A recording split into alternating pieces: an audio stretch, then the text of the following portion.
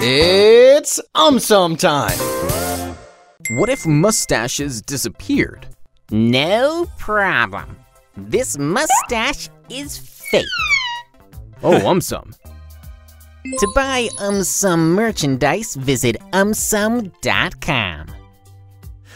Firstly, if mustaches disappeared, world record holder of the longest mustache would be one sad lot. Hmm. Secondly, if mustaches disappeared, many people may suddenly stop going to salons. Hmm.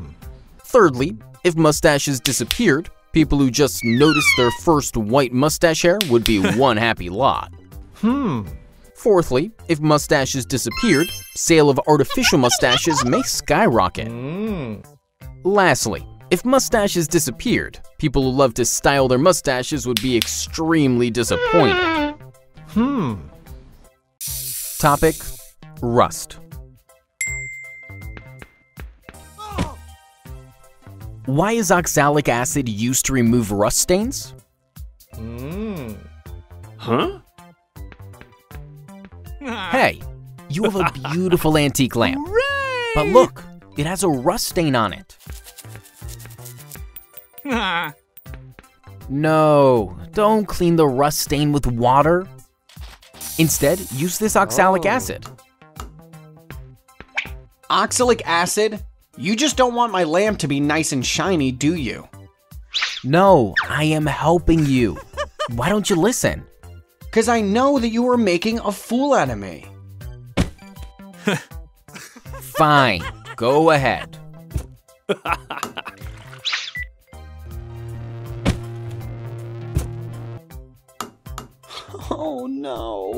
See, I had told you. Now will you use the oxalic acid? Hmm. Look, the stain disappeared. Yippee! Do you know how this happened? Hmm. Wait, let me tell you. Hmm. Rust is hydrated iron oxide. It is formed when iron reacts with oxygen and water.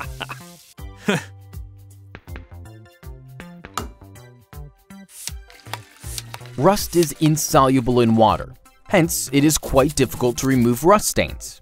Hmm. So how does oxalic acid remove the stain? Does it have some supernatural powers? Hooray! Absolutely not.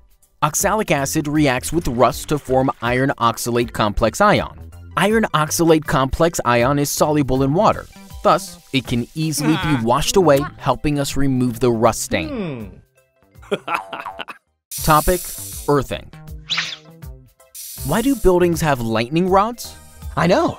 They are used to dry clothes. Nah, Huh? they are used for earthing. Earthing means digging the earth, right? No, earthing is the process of transferring charge from a charged object to the earth. It is done with the help of this lightning rod. Hmm. A lightning rod is a metal rod whose lower end is fixed to a copper plate buried deep in the earth while upper end has spikes. But why is it called a lightning rod? Huh? This is because it protects us from lightning. Lightning is a flow of massive charge. It can damage an entire building and harm the people living in it. Hence, to protect them, the lightning rod transfers the massive charge from the lightning to the earth safely. Topic, density. Why does an iron nail float on mercury and sink in water? Hmm. Huh? Oh, looks like you are stuck in the middle of a huge sea. Huh? Hmm. Oh, really? I had no idea.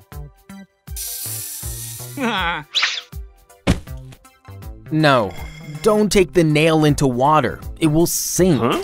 Take the nail into mercury. It will float and help you reach the shore. You were bluffing. How will the nail float in mercury? Please listen to me. Oh no. See, I warned you. Will you hmm. now use the nail in mercury? Yeah, yeah, I will. Do you know why the iron nail sank in water and floated on mercury? Hmm. It is because of density.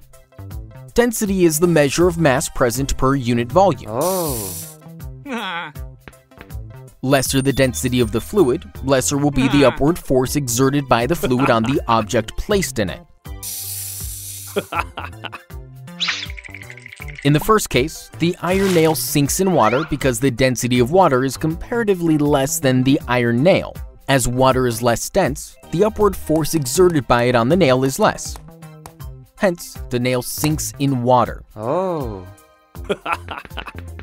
However, in the second case, as the density of mercury is comparatively more than the iron nail, the upward force exerted by mercury is more. Hence, the nail floats on mercury.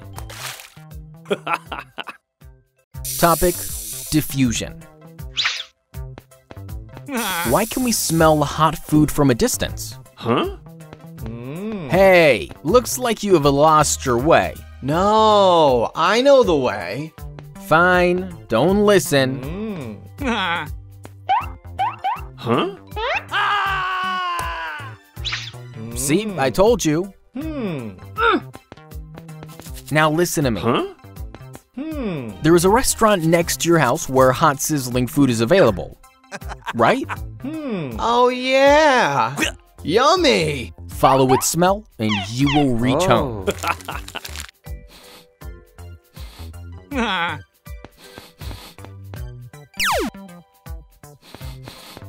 Huh? Yippee! I have reached home. Do you know how the smell of that food reached you? When food gets cooked, it releases some aromatic gases into the air.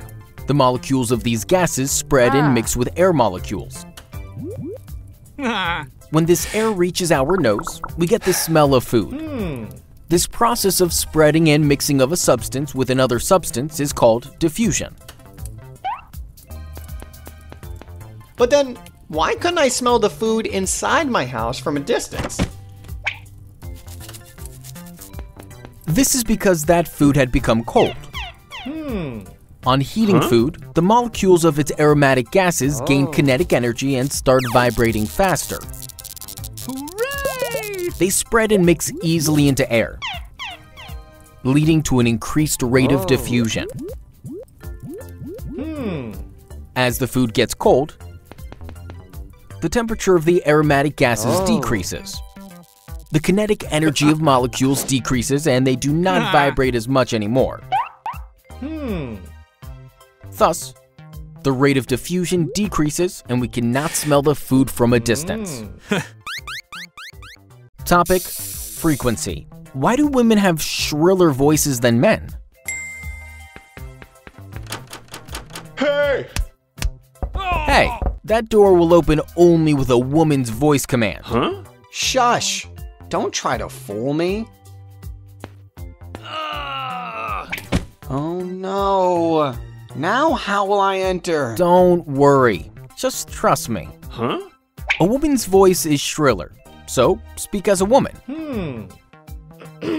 Could you please? Look, Huh? the door opened. This happened because of frequency. Frequency is the number of vibrations per second. More is the frequency, shriller will be the voice or sound. Gosh, explain it to me quickly. I can't wait. Alright, alright. In humans, sound is produced with the help of vocal cords. However, Huh? the length of vocal cords of women and men are different. A woman's vocal cords are about 15 millimeters long, while a man's vocal cords are about 20 millimeters long.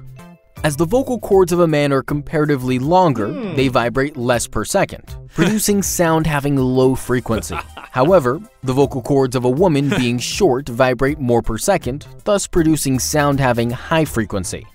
As the frequency of sound is higher, women have shriller voices than men.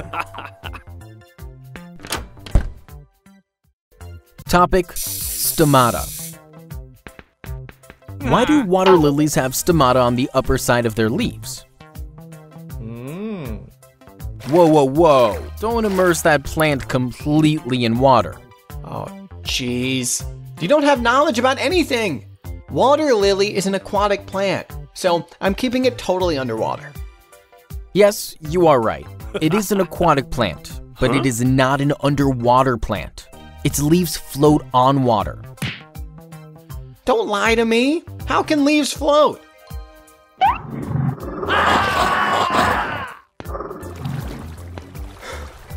Fine, don't listen. Look, you spoiled it totally. All right, now don't cry. To understand why this happened, you need to first learn about stomata. Huh? Oh.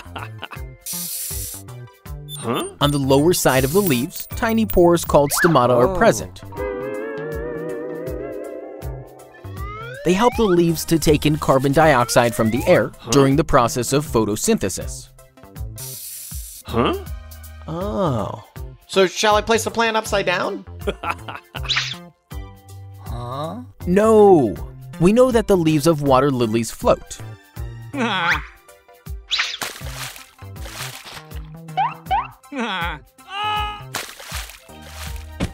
Hence, if the leaves of water lilies would have stomata on their lower side, then they would have been oh. pressed against the water surface. As a result, the stomata would not be able to take in carbon dioxide from air. Mm. Thus, the leaves of water lilies have stomata on their upper side, where they easily get air and usually do not come in contact with water.